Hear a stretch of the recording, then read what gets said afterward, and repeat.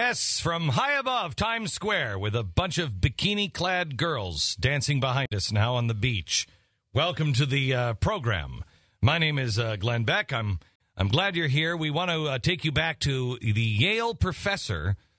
Um, this is the uh, he is the what, what do they call it? The distinguished professor of the year Yes. or Cub Scout of the month or I don't know what he was, but um, a distinguished professor at Yale. He is uh, he was delivering a lecture and then pulled off to the side and asked, uh, "Hey, can we have a conversation about that one again?" You said some interesting things about Obama. Would you mind? Yeah, uh, could you- would you- on that a little bit? Now, I'm sure this man is going to be discredited, and, and you know, by the end of the day, um, he's clearly senile. yeah. Oh, he's, well, oh, he's he's so clearly. old. He's, and you know, how old does he look? He looks like I don't know. sixty. He's probably 173, 174. yeah. He's a very young-looking 174. Yeah. Um, distinguished pref- professor at Yale. Here's what he said about Barack Obama. is really a revolutionary. That doesn't mean he's looking to stir up violent trouble, but I believe that he is trying to transform both the American um, political system and economic system and America's relationship to the world. I also believe that um, he has decided that America must make its peace with Iran. I believe that uh, he is a man who is highly intelligent, knows what he's doing, and in spite of the fact that uh, he has attracted liberal Jewish supporters, some with great wealth, uh, his intention is to uh, correct the historical mistake of the creation of the state of Israel. That's kind of a Uh, big deal. Given Obama's background, the fact that his family was uh, on his father's side was Muslim, that his sister is a Muslim, that his uh, half brother is a Muslim.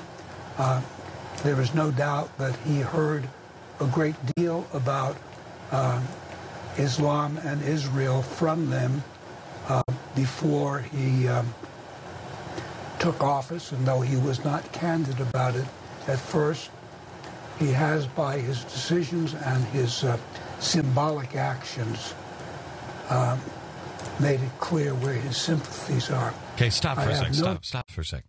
That's that's an awful lot to digest here. From a distinguished professor at Yale who will soon be discredited as a crackpot. He has made his intentions clear, which I think are clear. I think any human, any thinking human being can see, agree or disagree, can see where this man stands. They know. He does not stand with Israel. He does not stand with our traditional allies.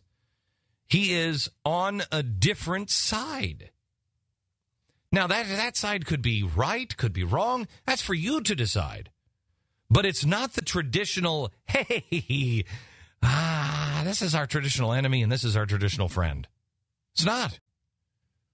The guy can't find anything to, no reason to sit down and meet with the president of BP, the CEO of BP. They have nothing to talk about. Quote, guys like that are just going to tell you what you want to hear. But he'll meet with Ahmadinejad with no conditions. I mean, how's it working out? Really, seriously, how's it working out with North Korea? North Korea torpedoes a ship and sinks it. We do nothing. We do nothing. Israel tries to stop a ship from approaching a secure area. Egypt says don't approach. Egypt says you can land at one of our ports, but you are not to go into the the Gaza Strip. Land at one of our ports, and we will search you. No. So it's not just Israel; it's Egypt as well. That's not reported. And what happens for the first time? The United States comes against Israel. I'm not claiming that Israel is right on everything, although I do believe they are the They're the victims in this situation. Uh, although I'm not one looking for victims. I mean, Israel's a big, you know, they're big boy and big girl. They can take care of themselves. But let's at least stand on the, the side of our friends, the ones we have more in common with. But now here's somebody in, in an academic level that is saying he's making himself clear. But he goes even further.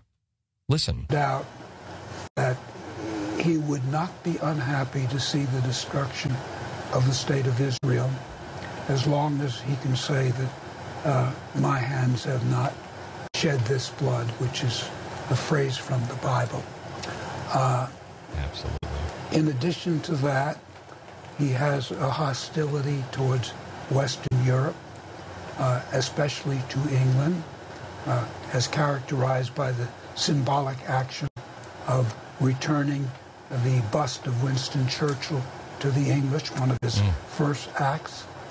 And uh, wow. he has made some uh, interesting symbolic moves with, um, uh, for example, bowing to King Abdullah of Saudi Arabia, since King Abdullah is the keeper of the two holiest shrines of Islam, Mecca and Medina, one wonders why uh, he did this. I mean, well, but you have to. He also uh, bowed to Pam Iorio, the mayor of Tampa. So, yeah, the bowing thing. I don't.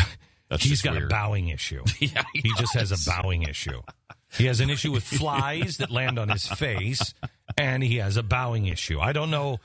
I don't know what either one of them mean. It's interesting though that he uses, you know, he talks about the relationship with England, which I think has really been compromised by this president.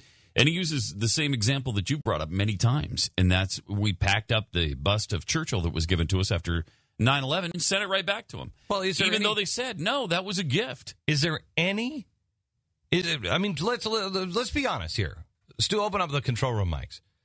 Let, let, let's let's brainstorm here for a second. Tell me an honest reason why you would do that to a friend. Clashes with the decor.